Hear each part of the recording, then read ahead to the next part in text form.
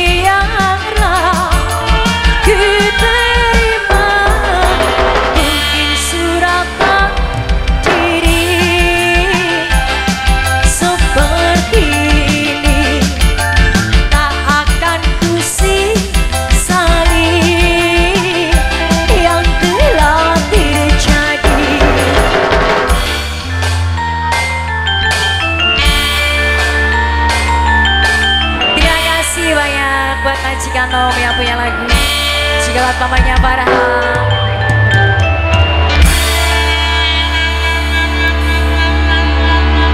Terima kasih kembali